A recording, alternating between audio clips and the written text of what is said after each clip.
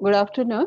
So today we are going to discuss on the essential documents for clinical trial.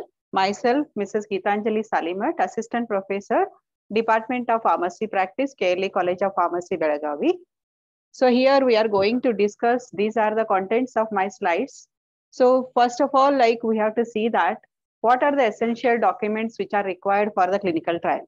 So already we know that any molecule of the drug when it is developed, it will go in the development phase. So before we'll be like manufacturing the molecule, then it will come into the trial phase. So here, according to this content, so we are going to see that first, what is the introduction for the essential documents for clinical trial.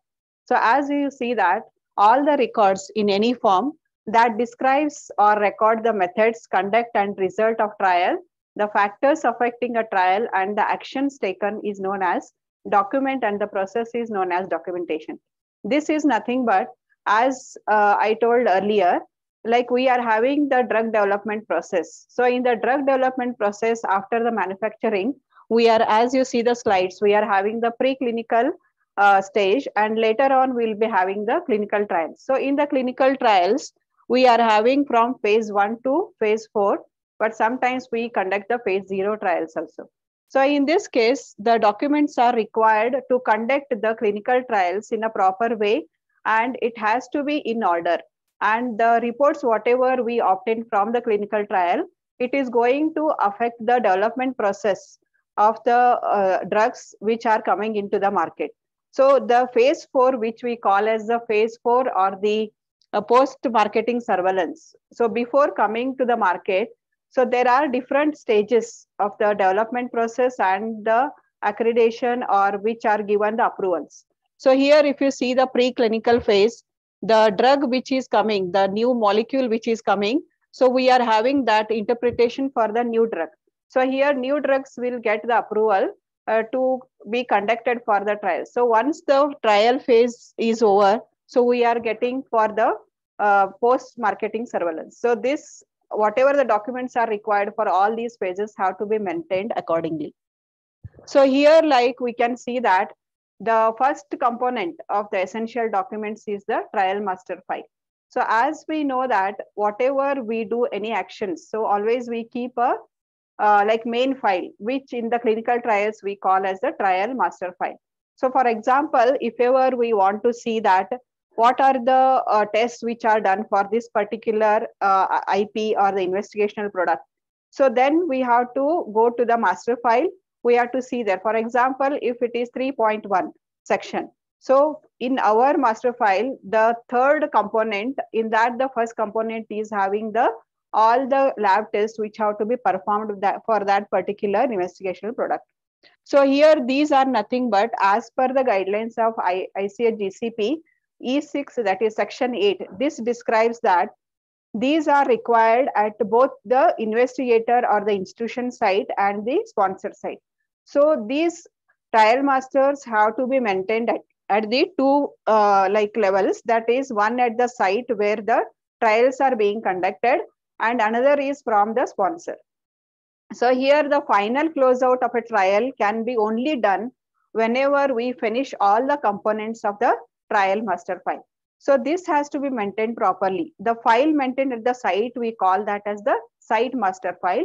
And the one which is there with the sponsor is called as the sponsor master file. So this master file includes like, as I told you, so many components are there.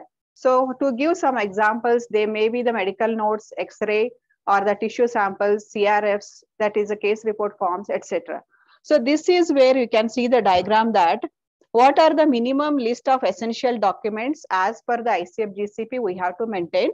And the totally like other than the main documents there are some supporting documents which are required to be maintained.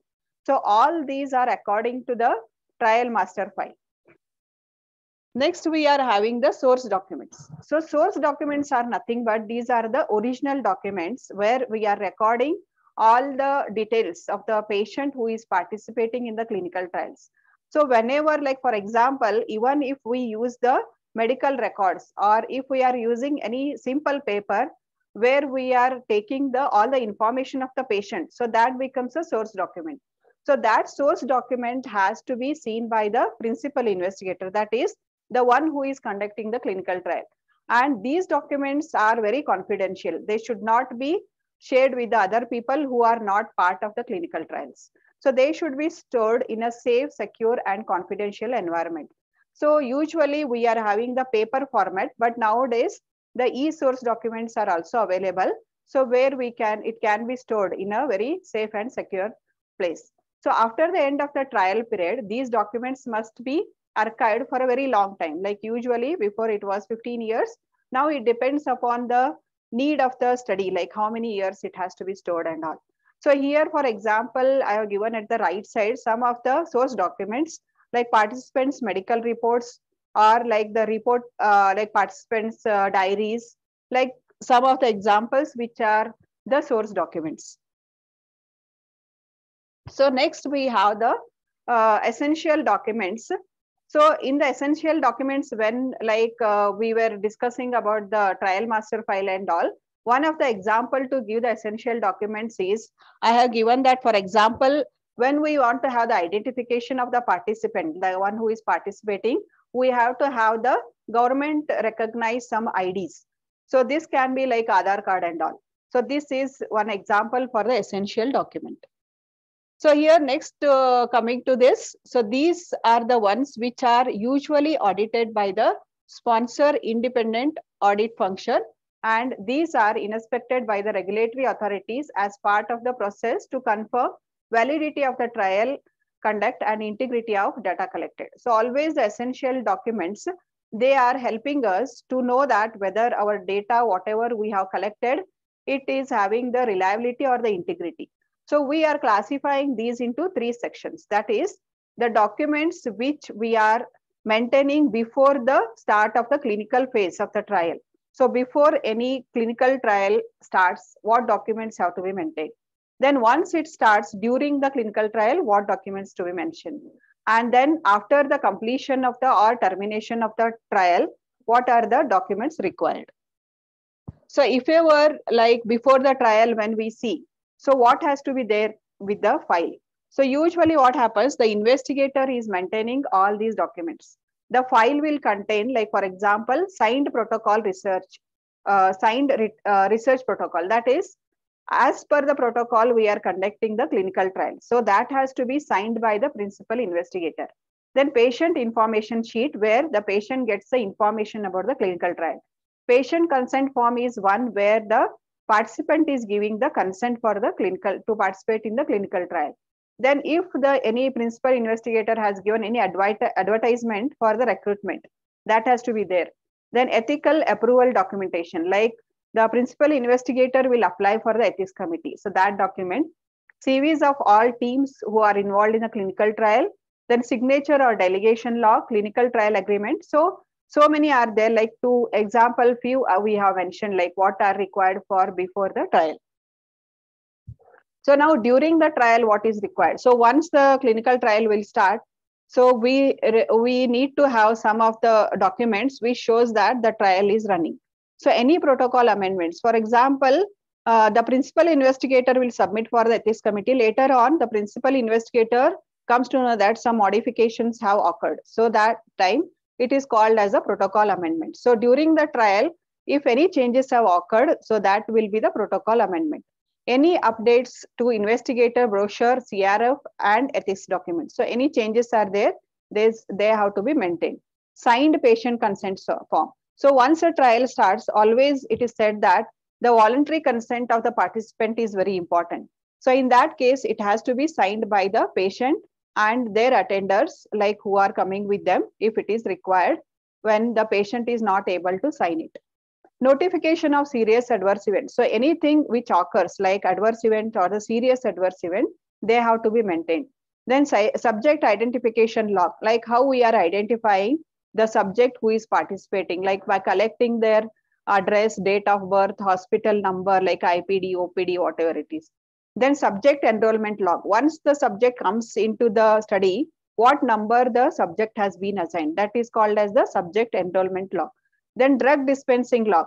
So what all drugs are uh, dispensed or what is the IP, main, the investigational product which is there. So whether it is dispensed and whether the log has been kept, record has been kept or not. Then drug accountability log, that is how many times the drug has been dispensed, what dose it has been dispensed. So that we call as the drug accountability log. So these are again some of the examples during, then later on after completion. So once it is closed out clinical trial, we have to, we require the final close out monitoring report. Like usually whenever the clinical trial is being conducted, we have the interim monitoring or at the end of the monitoring we'll be having. So you, we require the interim and the final closeout monitoring reports. Then decoding documentation, especially in the case of the placebo control trials, like you, the sponsor will do the decoding. So that time we require the decoding documentation or if any serious adverse event happens. Then complete subject ID code list. So what were the, how many subjects were enro enrolled, what were their IDs? Then drug accountability, like as I mentioned, what was the drug given? Like how many times it was given, what was the dose, how many visits were over. So that is drug accountability. Then audit certificate, like who has audited the clinical trials. So whether it was a national or the international level auditing and all. Then final report to ethics committee and regulatory body. So once it is over, we are reporting or the one who is conducting the clinical trial is going to report to the ethics committee and the regulatory bodies. So these are again some of the examples for after completion of the trial. Then we are having important is the investigator brochure. Like during the trial, some uh, documents we require. So that is one of them is the investigator brochure. So here it, it is nothing but it is giving the idea for the principal investigator about the investigational product which they are going to use in the clinical trial. So it contains the preclinical and clinical information related to an investigational drug.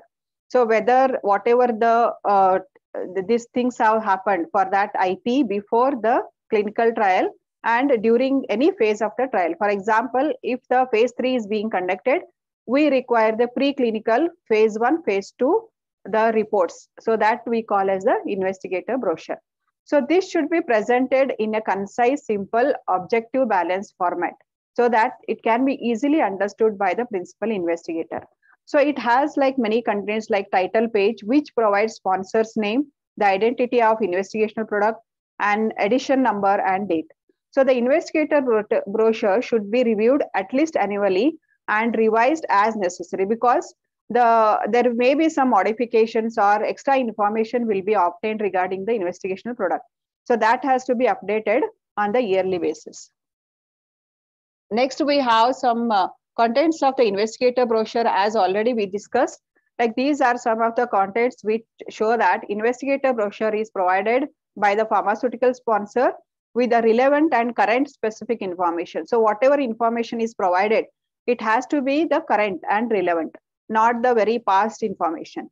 Then normal values, what are required for that? Laboratory procedure, what to be conducted?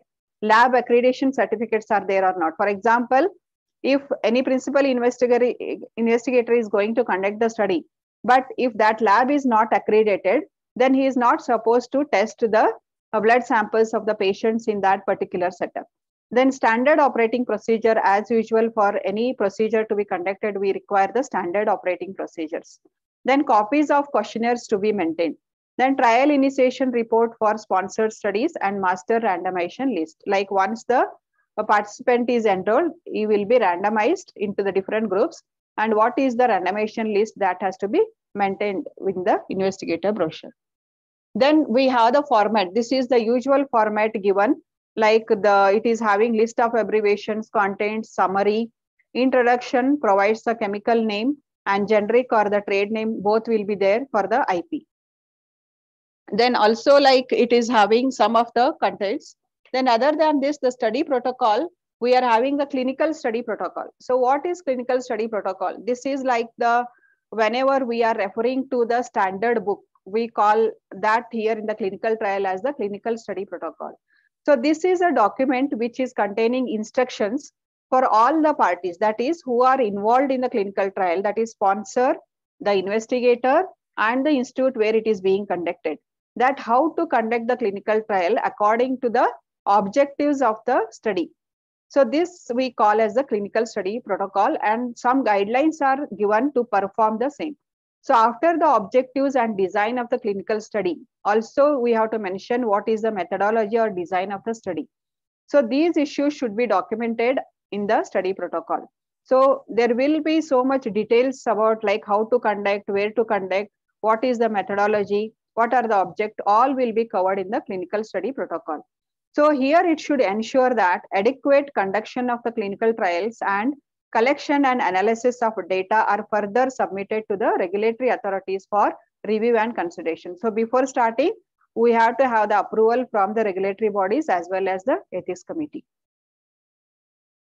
Then these are some of the sections of clinical study protocol. So as you see, like whenever you open any protocol for the clinical trial, it will start with the introduction, objectives of or the purpose of the study, study duration, number of subjects, informed consent, opinion of the ethics committee, subject selection criteria, inclusion criteria, exclusion criteria. Sometimes opinion of the ethics committee will be added later after the approval is given. Then what is the methodology included? So how they have to con uh, conduct principal investigator. That is, what is the study plan to conduct particular clinical trial? How should be the schedule of that? Like how many months it is being conducted? What is the duration? how many times the patient has to come that is study visits and what what interval the uh, participant has to visit the site then study assessment or the procedures so how uh, like long the assessments will be carried on on what basis regular basis or what is the interval so that we call as the study assessment or procedures then definition of efficacy endpoint so what efficacy they have achieved so that has to be in the methodology what to be achieved it should be in the methodology. Then treatment cycle. So how many cycles will be given or like as I said earlier, how many times the patient has to visit, then what is the treatment plan and all, it will be there in the methodology. Then in the next comes the safety reporting, which is very, very important in the clinical trial. That is, whenever a participant is participating in the clinical trial, he may come across some of the adverse events or serious adverse events. So they have to be reported to both ethics committee as well as the regulatory authorities. So in this case, they have to report the adverse events, serious adverse events, any abnormal laboratory values of other safety parameters, withdrawal from the study. So why the patient was withdrawn, any SAE happened or any safety reporting because of that. So if special terms are used in the documents, they should be explained and clarified in the safety reporting. Then we are having protocol amendments. So as earlier we, I said, if ever any changes are going to occur apart from what they had submitted initially, so those we call as a protocol amendment. So these are the amendments or changes in the initial study protocol. So if they are made, they have to be again submitted to the institutional ethics committee or the IRB and the regulatory authorities. Then we are like uh, the clinical laboratory parameter other safety parameters concomitant medication data analysis appendix. So all these are have to be there as the documents for the clinical trials. Then the informed consent. So this is again very one important aspect in the clinical trials that is anyone who is participating in the clinical trial he has to give his consent voluntarily so that one thing which i have underlined is it is a process by which a subject voluntarily confirms that he is willing to participate in the study or the clinical trial. So this has been informed to all the study participant by giving the PIS, that is the patient information sheet. By reading that, the patient will understand that what is like where he, what he is uh, participating into. So then the, this means a written, signed and dated informed consent. Nowadays, we are also having the audio visual informed consent. Then the subject should be informed about the purpose of the trial, the methods of the trial, the study drug and treatment regimen, available alternative treatment if ever he is not uh, like going to uh, show any effect for the same. Then the potential risk and benefits and possible discomfort. So always this is very important as nowadays we do the risk benefit analysis, which shows that if any risk are uh, occurring or any benefits of that study are there, they have to be informed to the patients or the participants. Then the subject also should understand that informed consent should be given freely, that consent should not be obtained through inducement or coercion. That is, there is no forceful uh, like his involvement in the trial that he or she may withdraw any time in the study at any time. That withdrawal from the study will not affect his or her future medical care. So this is the very important things in the informed consent. Then study progress report. So once the study is being conducted at the uh, like in between the interim uh, analysis when we are doing so we are taking the study progress report. Usually it is followed like every year they have to submit the progress report. In some of the institution we follow the biannual study progress reports. So in this whatever the study has been carried out till uh, that time how many patients are screened how many are enrolled how many are randomized if any adverse events have occurred like what is the adverse event report what is the adverse drug reaction report? So all this has to be there in the study progress report. So along with that we should have the patient entry form. That is how many patients are enrolled withdrawn protocol deviation. If they have deviated, deviated from the protocol that report has to be there. Or if they have totally violated the protocol protocol violation report is required. Then if our study has been terminated in between if it is applied if it is applicable it, the report has to be there the study monitor should provide written reports on each study monitoring visit. So if monitor has been monitoring has been conducted, monitoring report has to be there. So these are the things which we require for the study progress. Then case record or report form where all the details of the patients are filled in the uh, like written case report form. Then nowadays we have the eCRF where it is called as the electronic CRF where it ensures that data collected is according to the study protocol.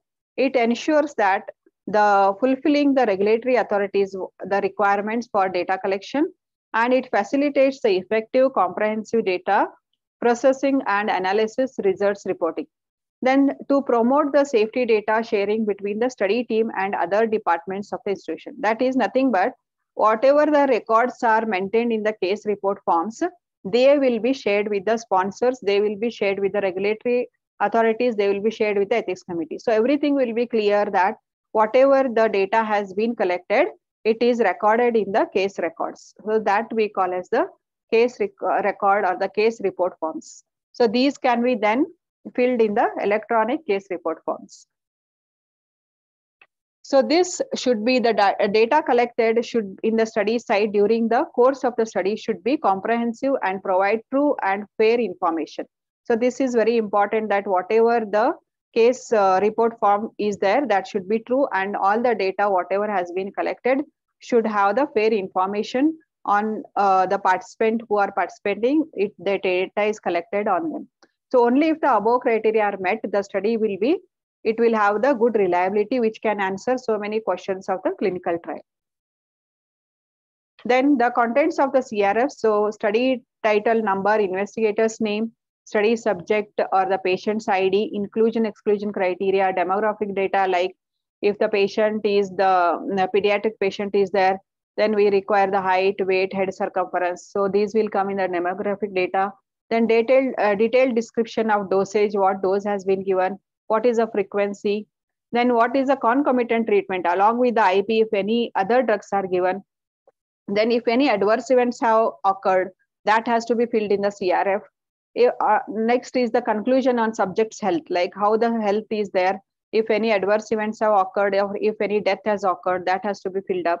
Then investigator's signature and date. Finally, all this has to be approved by the principal investigator who is conducting the study and has to be submitted again to the ethics committee or the regulatory authorities. Then the, again, it will have the uh, past medical history if any patient is having any, any past medical history or results of physical examination, primary and secondary diagnosis, relevant previous treatment, baseline character. So it is as good as whenever the patient is coming to the hospital and uh, we are taking all the details. But here it is very particular that all these have to be filled up in the CRFs. So sections which are containing in the clinical agreement is all these things which have to be maintained by the clinical agreement between the sponsor, between the principal investigator and the institution that they are conducting the clinical trial in a fair way. So we are having some uh, like preamble acknowledgement responsibilities of all the uh, this one whoever are participate uh, whoever are conducting the trial or the institution terms and termination payments, like what all payments will be done for the different uh, uh, who are partic- who are conducting the clinical trial. Then patient privacy, publication, intellectual property, uh, confidentially. So all these sections are maintained in the clinical trial agreement. So other, uh, other than the clinical trial agreement, whatever has been maintained. So if there is no clinical trial agreement, we cannot start the clinical trial. Then diary cards. So this is the uh, uh last but very important thing that whenever the patient is provided with the diary card, he will maintain all the things when he go back to the home. Like if the uh, doctor or the principal investigator has asked him to maintain some records. Like for example, as we I mentioned, like in pediatric patient when vaccination is given. So if the uh, baby has come across any fever or inflammation, so the diary will be given and how many times it has happened and whether it has happened or not, that has to be recorded. Or for example, as mentioned on the slide, like if ever the patient has the involuntary micturition, then how many times, when it happened. So that diary will help the principal investigator to note apart from the, when they come to the site, apart from that, if anything has happened in their homes and all. So this will give a additional information for the principal investigator to conduct the clinical trial in a good manner. So these are some of the references which are used for my this uh, today's topic. Okay, thank you so much.